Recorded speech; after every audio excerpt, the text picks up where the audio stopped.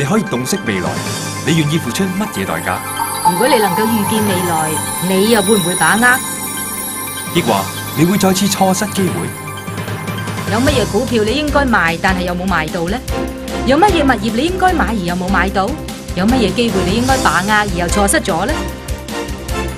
你一生中又能够遇到几多机会呢？呢个可能系你最后嘅机会。你要格外留神。每十年就会有一啲配合时代趋势嘅伟大产品出现。七十年代系微波炉，八十年代系录影机，九十年代系电脑同埋互联网嘅世界。喺八十年代把握到机会嘅，已经成为百万富翁；而九十年代把握到机会嘅，就已经成为亿万富翁。你认为未来呢几年嘅趋势又系乜嘢呢？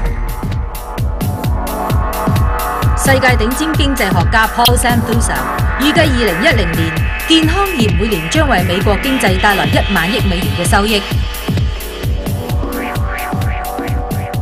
呢啲收益嚟自为大众提供令佢哋更健康、更美丽、延缓衰老或预防疾病等等产品。试谂下，健康业喺二十年前并唔存在，但系今日健康业收益达二千亿美元。相等于美国整体汽车业收益嘅一半。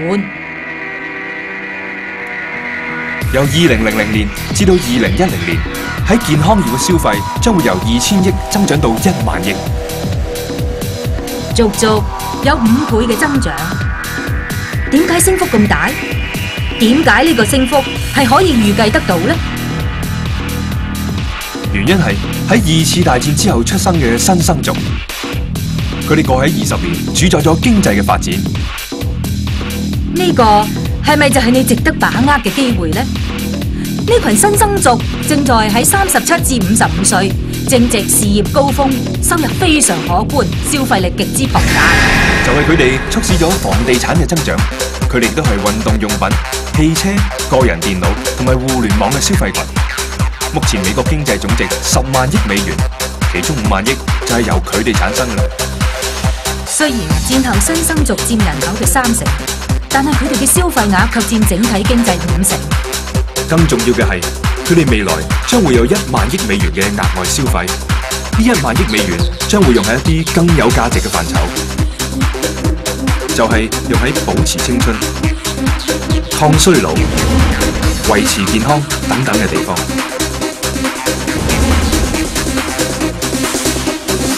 喺未来十年。美国新生族喺保持健康嘅消费，由每年亿美元增长至一万亿美元，一万亿美元，相等于一日消费二十七亿美元，一小时消费一亿一千四百万美元，一分钟消费一千九百万美元。如果你愿意把握呢个，就系你前所未有嘅机会。但系。你又可以点样把握呢个机会呢你可以令自己成为医护从业员、生产商、零售商，甚至系分销商。医护从业员，例如医生、按摩师，又或者治疗师，需要你付出高昂嘅学费、保险金额，同埋长时间不停咁工作。生产商。你需要大笔资金设立厂房同埋进行研究。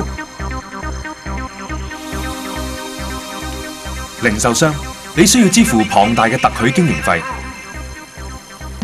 广告费、员工薪金、存货、一星期七日嘅工作时间。